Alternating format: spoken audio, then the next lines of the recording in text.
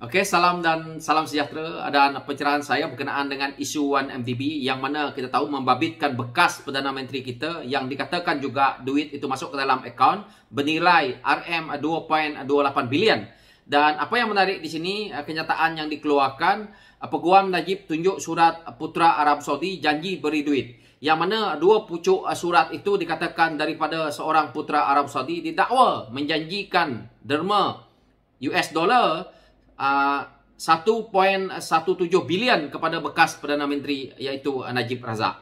Dan apa yang menarik daripada sini, saya membaca kenyataan itu bahawa setakat ini tiada saksi pendakwaan yang mengesahkan kesahihan surat-surat itu termasuk YAP. Yang mana YAP ini adalah ketua pasaran modal Ambeng yang mana dia juga sebagai saksi ke-38 tetapi dia juga tidak boleh nak mengesahkan sebagai saksi bahawa uh, kesahihan surat-surat itu betul atau tidak. Tetapi saya ada saksi yang kita boleh bawa ataupun menjadi saksi kepada Najib dalam kes ini kerana kita lihat dia begitu hebat dalam dia membuat um, penghujahan berkenaan dengan isuan MDB ini berkenaan dengan duit ini. So kita tonton dulu. Datuk Najib ada 42 juta ringgit. Soalan tuan-tuan dan puan-puan, duit itu masuk ke tak masuk di Datuk Najib? Jawapannya masuk. Memang masuk kawalan Datuk Najib Razak. Jadi orang tanya saya, apa jawapan Datuk Najib? Datuk Najib kata dia tak perasan duit itu masuk. Dan kita pun kata katun lah. Kita ni gaji nak latih masuk sebelum masuk kita dah tahu dah dah masuk duit. Takkan 42 juta Datuk Najib tak sedang? Datuk Najib tipu. Datuk Najib ada jawapan. Sebab Datuk Najib kata bukan setakat 42 juta dalam akaun dia ada 2.6 bilion. Duit daripada siapa? Daripada Arab Saudi. Kenapa Datuk Najib dapat duit daripada Arab Saudi? Sebab kalau kita ingat dulu masa Mesir perang, masa Syria perang, masa Libya kena perang, Arab Saudi sangat takut. Sebab masa itu ada kewujudan Arab Spring kebangkitan orang Arab. Dia jumpa Datuk Najib, dia kata Datuk Najib, saya suka cara kamu tak di Malaysia. Sebab kat Malaysia tak ada ekstremis macam dekat negara-negara Arab yang lain. Dan saya nak UMNO kekal jadi Perdana Menteri. Dan saya bagi bantuan. Dan dia bagi bantuan dua poin yang lain. Orang tanya pula, takkanlah Pak Arab nak bagi banyak tu? Tak pelik sebab dia bagi kat Pakistan 7 bilion. Jadi 2.6 bilion dengan 42 juta macam duit 2,000 dengan Pak Kupang.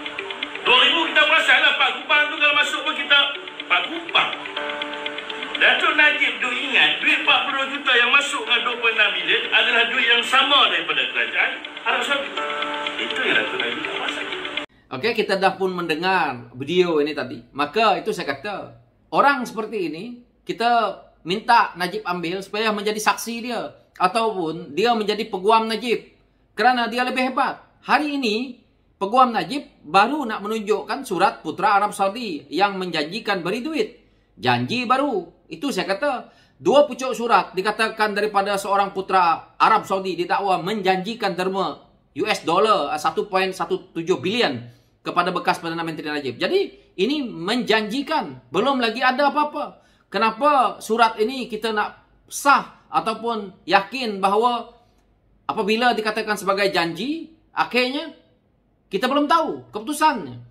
Tetapi walaon-walaon yang ada di luar ataupun mereka yang betul-betul nak menyokong Najib ni berkenaan dengan isu ini, mereka yang begitu fanatik, akhirnya dia mempercayai bahawa itu yang saya kata tadi, itu yang dia kata dalam video itu, iaitu Najib lihat duit tu seolah-olah 2000 dan akhirnya 4 kupang masuk, tak nampak. Mana boleh kita cerita nampak ke tak nampak? Sekarang ni itu akaun kita. Najib tu Perdana Menteri waktu itu. Jadi dia kena tahu dan juga saya tidak percaya pegawai-pegawai bank tidak memberi maklumat terhadap Najib berkenaan dengan isu ini. Jadi mustahil dia tak tahu. Jangan cerita 2000 dengan 4 kupang. 42 juta yang nak dikatakan kecil itu sangat besar. Walaupun berbilion masuk 42 juta bukan 40 ribu. Jadi 42 juta itu yang mana kita lihat itu yang menyebabkan Najib duduk dalam penjara hari ini. Jadi apapun Najib tetap bersalah kerana satu, dia melibatkan LHSDN Yang kedua, kita tahu bahawa jika memang dia merompak harta negara dan akhirnya dia buat uh, pusingan you yang mana dia gunakan akaun uh, di Malaysia ni iaitu 1MDB untuk merompak duit dan akhirnya dia pergi transfer dekat akaun dummy yang ada di luar negara dan akhirnya patah balik ke dia itu dah jelas-jelas inilah yang dia kena ni. Jadi apa yang berlaku, apa yang berada dalam video itu tadi, dia nak kata tak faham, mungkin memang betul dia tak faham tetapi boleh kita katakan sebagai raja penipu. Sebab itu kalau dia betul-betul hebat, dia kena ada dalam mahkamah, dia kena beritahu kepada hakim-hakim bahawa dia lebih tahu. Jadi jika dia cakap saja di luar ataupun dia cuma nak berceramah kepada uh, uh,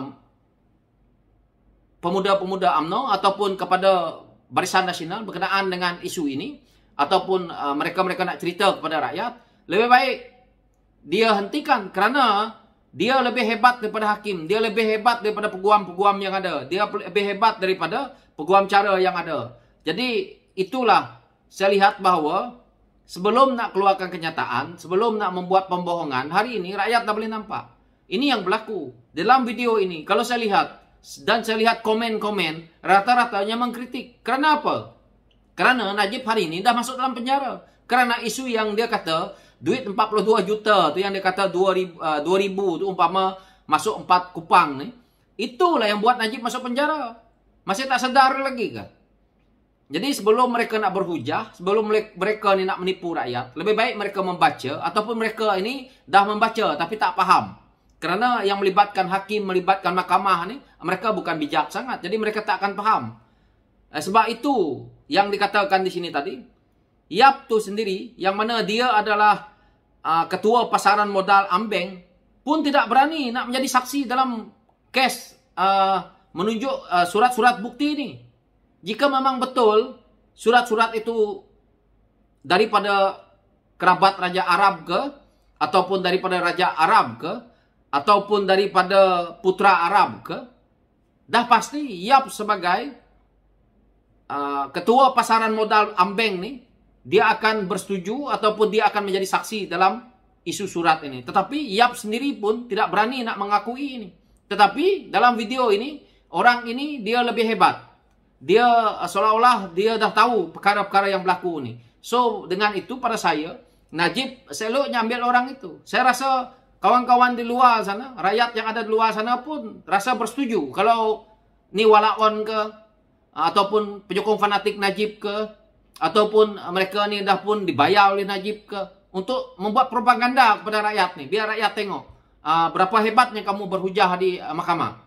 Kerana kamu lebih hebat di luar sana membuat ceramah-ceramah uh, untuk meyakinkan rakyat. Uh, seolah-olah kamu juga sama macam dulu. Aru Kanda bukan main lagi hebat dia bercerita. Hari ini senyap sunyi membisu. Uh, mana dia Aru Kanda? Uh, mana ada pemimpin PAS yang berpuas hati dengan keputusan 1MDB ini yang mana 1MDB ini dilihatkan uh, tidak akan merugikan. Tetapi hari ini kita rakyat yang kena bayar. Uh, mana ada pemimpin PAS tu? Suruh dia bayar 5 juta satu hari. Hari ini kita berdepan dengan masalah duit yang hilang daripada 1MDB ini. Dari mananya Pak Arab yang derma? 1MDB, 1MDB kita kena bayar. Dan kalau derma daripada Pak Arab tu, lebih baik Najib buat bisnes 1MDB tu. Kenapa dia gunakan duit 1MDB, duit rakyat untuk nak buat bisnes? Duit tuan duit daripada Arab Saudi ni, daripada putra Arab ni, untuk apa? Apa gunanya? Nah, kalau dia nak memajukan Islam apa semua, banyak tu, 2.28 bilion. Ah, tak nampak pun. Saya rasa hari ini, kalau dia kata melibatkan Islam, saya rasa, rasa dah hebatlah sekarang ni. Tapi mana pergi duit 2.28 bilion derma Arab ni? Tak ada. Akhirnya apa yang kita tahu? Setelah rakyat tahu, dia transfer duit ke Singapura. Kenapa nak transfer ke Singapura? Apa yang dia takut sangat? Kalau betul tu derma, kenapa nak pulangkan balik? Kalau betul lah. Ha, jadi, walaon-walaon yang cakap tu pun tak payahlah nak membohongi rakyat. Rakyat tak, bodoh lah.